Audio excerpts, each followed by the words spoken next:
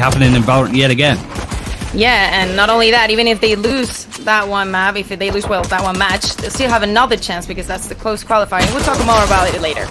Yeah, double a limb. I can't wait. But right now, Batista's doing a pretty good job at holding back this G2 team. It's still a three versus three. Nukkye is the only one on low health, doesn't have the heal, just used it on one of his teammates, but doesn't even really need to. He's gonna take these fights, takes out Zeon and Chris? Should have asked you about pronunciations Yeah. beforehand for some of these players, but Navarro has it all to do. Yeah, Navarro, Kirth, it's Kirth. See, that's the one Yeah. thing I can't do. I can't make that here. rolling noise. Yeah, I mean, it, it's pretty normal. Some sounds in English are, are pretty tricky for me as well. It's a pretty Yeah. standard attack by G2, you know, using that Sage Wall, breaking mid, taking control, winning B-side. This one didn't have much to say because it was wild. Maybe we'll see a bit more of those kind of moves from G2.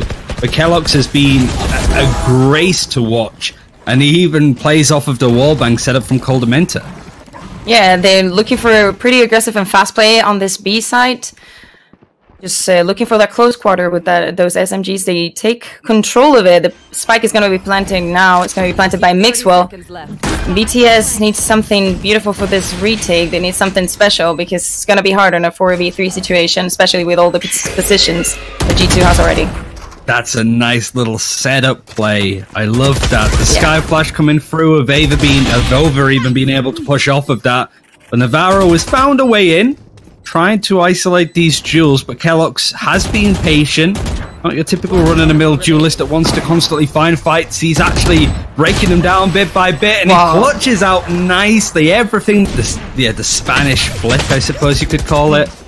I'm just so used to butchering it. We said that yesterday with Zesht as well. But this G2, really not giving any room for Batiste to come in and actually surprise. It's even more terrifying as well because I know a good portion of your audience is Spanish, so I feel like Kirth. he's he's going to be watching. keloqz is actually going to get real close. This might be the shortest distance Ooh. operator fight we're ever going to see. Kriv is up, and it's just these two operators keeping him at a standstill. And Nukkye's about to fight a fight up on the sage, uh, sky even, and just absolutely dominates it. Yeah, Teon didn't have the best of his luck there, and they they don't have much info besides that meat part that we that we know right now, the Astra pushing, but the the attack and the positioning on B, it's taken by G2 already. And I think it's time to Household name until they won first strike. Oh. We didn't even see, maybe he didn't even need to scope, it was a really quick one. So let's see if Kiris can uh, save this Seek one. has been used. Is the operator was a bit successful. Going to be able to peek out, and yet again, keloqz has just sort of stood out in the open with his own operator in hand. V2 are not willing to let them try and regroup. They're going to try and continue to push, but he just finding out where these struggling members of G2 are. But the thing is, they're not isolated. Navarro was hoping to maybe catch one on their lonesome, but Koldamenta checks the corner. Obviously, as the Silver is planning utility to try and clear it with shock dart, so maybe that was part of the reason why it forced out a bit of an early engagement. Now, Bromas is going to try and keep an eye onto Rafters, checking that corner, but the Eldrun is going to make him back up a little bit more. Now, with Ova all stuck, isolated with that wall down, is going to protect Tree, and it's only those two early players that G. Then we need the four are left. See he's not been playing bad with the oh he didn't check up timing not good for him. I was saying Kith was was doing good on the operator. It's just not enough. Jeez. Because The when you're 8 0 down as well, some of these mistakes are going to go through. And Nukkye playing almost through the Hunter's Fury, finding gaps. And really, it's no. We no were asking Lucas like it's great how Nukkye has all those lineups and those walls with Sage. He said you know it's it's Golament that he brings so much to the team. He's always studying, always bringing new lineups, new new setups, and it's just crazy. The team captain and IGL that it feels that G2 have been wishing for. I think one of the common complaints very early on for G2. Operator in hand. Going to be able to see it through. And Nukkye is actually the first to go down. So he doubles his kill count, but it's a key one. And now Batiste with the operator on his corner. keloqz doesn't like to use that dash until he needs to, and unfortunately, it's going to meet too much now. Three versus three now. Now, Operator and Bladestorm now coming in on Batista's jet side. More of a reset as Mixwell's found a bit of a gap and opening somewhere that he can sneak through and catch a rotation point. Has the Shrouded Steps to try and get off of the site, but it's going to be an awkward one.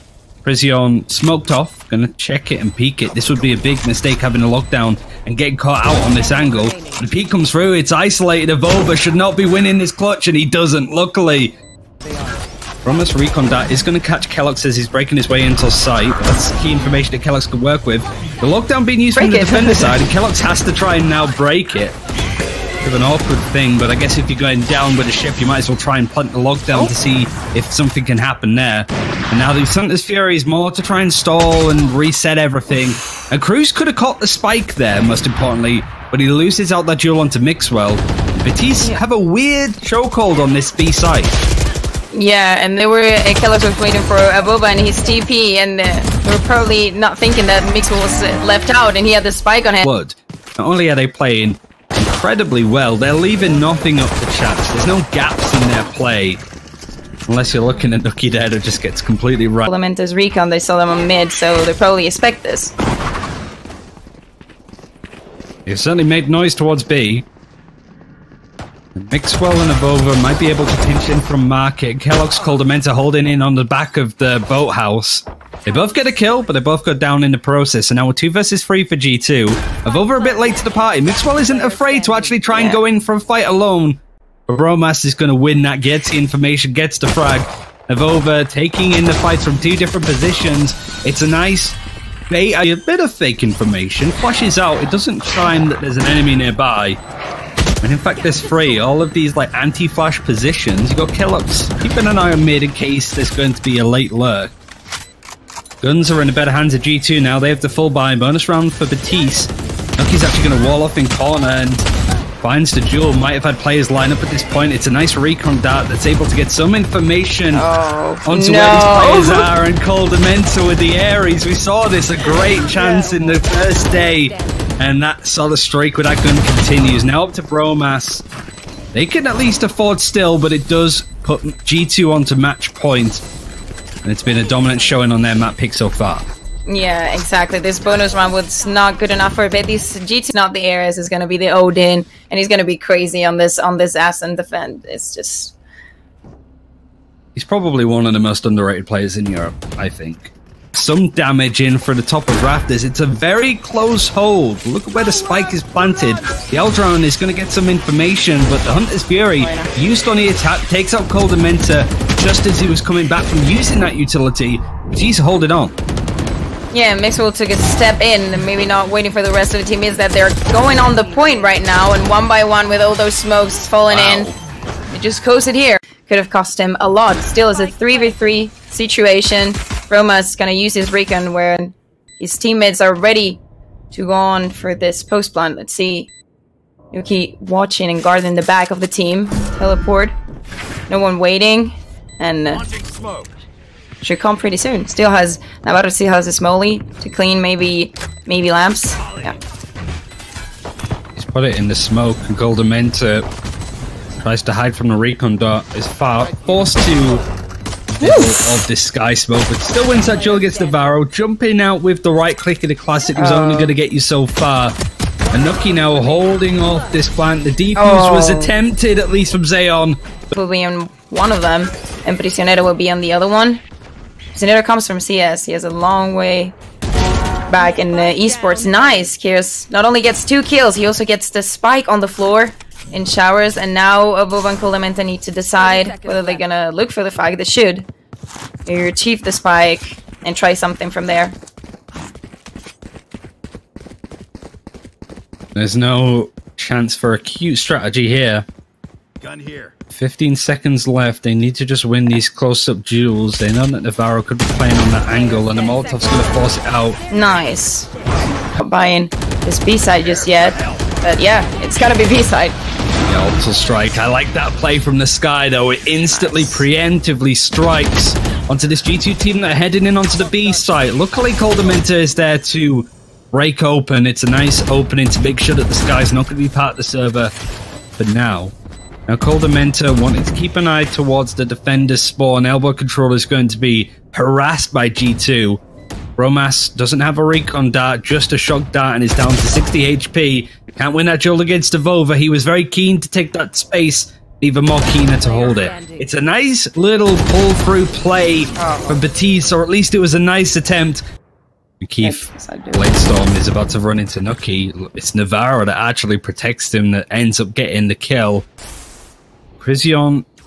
Prisionero. Prisionin. It's uh, it's how you say prisoner in Spanish. Oh. Prisionero. I'm just so used to ignoring some Just of the think of numbers at the end for prison. names. I'll, I'll I'll teach you how to read in Spanish. It's really. Prisionero. No? Perfect. That was perfect. Oh, good. I feel Prisoner is actually a really cool name, even just Yeah. the English version. Planted. He's not quite in jail yet. BTS have the keys to open this, but does require buying and getting through this Viper's pit. Close quarters battle with Mixwell is on the cards. Very easy to pronounce his name. keloqz has been pretty radio silent on this guy, at least for the impact of these fights that he's taken, and he has quite a lot to do. The spike has been planted. You'll notice that Koldamenta is over Oh. main and gets killed through the smoke from Keith. Now keloqz breaking these fights one by one. The hit, the showstopper is dedicated. It is firing onto the corner. Zeon has found a nice little off angle, a dangerous one, but it works out perfectly. And now Keith is adding more to the problems on this side of G2. It's looking like Batiste could go even on score here. Yeah, and that Viper wall is not giving them any info for what it's inside B side. Also, they're collecting the the rest, just what they need. They don't only have that Viper, they also have that Brimstone. This double controller creates the perfect space for them. And now brings the question up to G2. What are you gonna do now? Are you gonna go for it? Looks like they are. Zeon has been much better player on this bind map. He's still playing an elbow, and G2 have still managed to find a way to make this close. It's a 2v2 on the site, at least, and Navarro. They're trying to protect onto keloqz, who has it Oh, all to God. do. Would have been a nice multi-kill start, at least if he could find that fight onto Navarro, but it's all body shots. In the top 25 at least, and Keith we saw how much he wanted to play with the operator on Ascent. Wasn't able to do all that much with it, but already it's having massive impact on this. Nukkye tries to dash his way in. And Mixwell slips his way in onto site, trying to play off of Koldamenta's recon dart to get some kills through the toxic screen. He has he's rebellious gonna- position though. Oh, Catching on to Bromas though. It's a nice trade for the teammate, but unfortunately the spike's in an awkward position. You got Navarro that's actually pulled all the way through B, through market. Playing off of where the spike's been dropped to Mixwell. He's not in a safe position. He's going to try and go through the smoke. Navarro's there waiting. anything right. That is scary. That is really scary. Because if they can adapt to any team, they can do anything. They can win anything and anyone. Another defuse has to come in for Betis. Navova actually picking up a gun on the ground wins the duel against Bromas.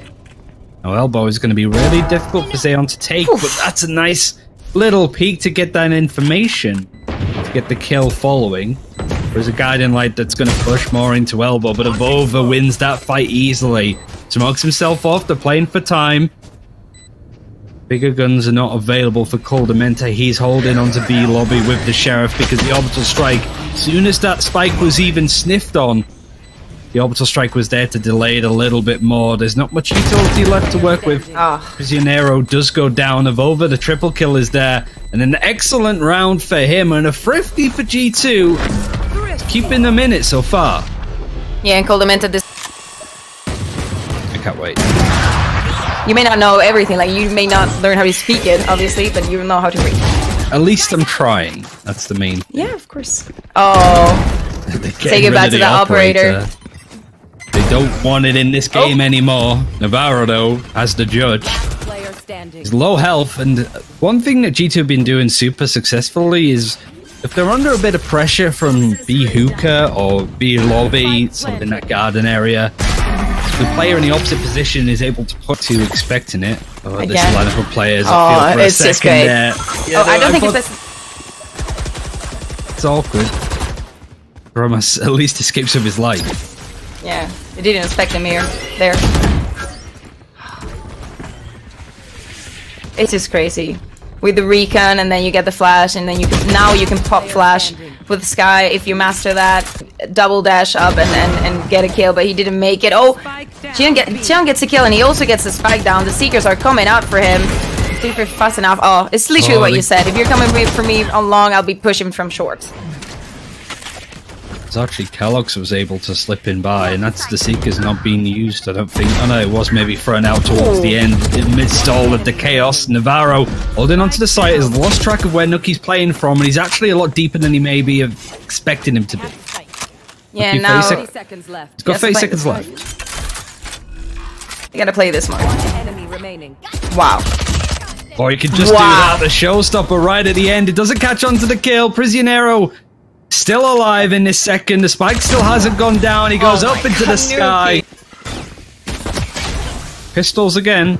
Zeon again. Goes for the wider peak, hoping to find a, a closer opponent on the left hand side. But Koldamenta is holding his ground. Spike. Bova gets two A. before he's traded, and a couple more added to Koldamenta's tally. So Bromas, even before he can really set himself up for the action, had the lineups ready for the Sova, and before they hit the ground, the rest of his team is dead. Yeah, this uh, tough position for Bromas. Spike's not his and not enough HP. Now, yeah, we're trying to push on B long. Looks like A is gonna be way easier for them. It's a 4v3 again, bonus run for this G2, but they have all the positioning and lamps. Do not have the, the vision, but they will have it soon. Bova just pushes out. A. 30 Zeon has been really good on the Skye. Standing. It's going to continue to be Prisionero. Adds a few more to his tally. The beginning of the round.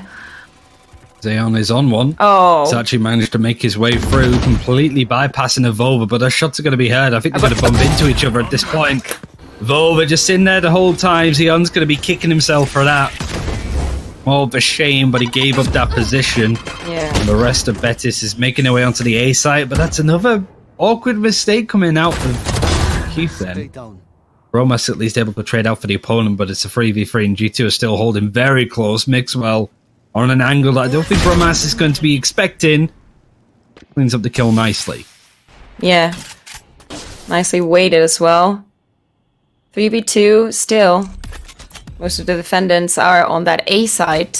Smokes are gonna fall any moment. Oh, Mixwell has all the info that they need. The rotations are coming. And all the venoms to prevent them from getting in the point. Oh god.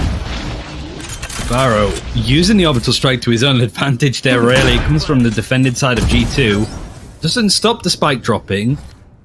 The recon death from Koldamenta has always been good to find some information. Barrow trying to make sure that these G2 players are pulling in together. Wants to take those fights their own, but Koldamenta doesn't kills the cabbage that was heading his way. Zeon knows that there's people close fighting in the smoke. Savova trying to go for the koi play again. Actually does take a good portion Oh, of damage, but still finds Zeon. He really has the Skye's number today. But Romas is clearing up these sheriffs. Numbers advantage still there for Betis. They have the better guns. They have the spike down. But I still think G2 can do a number here. Yeah, they can. They use those seekers. Also the flashes. France Prisionero finds the second one. Enemy remaining. Oh my god. If he Oh, turns God. right, he can get maybe both of Oh them. At my- least check the corner. Most part, I think it might have just No, been a yeah. Volva they couldn't afford. Yeah, I think Still- it was a and Nukkye that couldn't get a tier one gun, but for the rest, I think it was they wanted to be aggressive and to be fast, but This isn't good. You just sort of see the sheriffs with fires through there. Keith coming in close. If he shuts down that fight, a Hunter's Fury coming out on the attack, and it Oh, only kills no. Prisionero. What a drastic way to go out. Oh, Mixwell with two with a snake bite.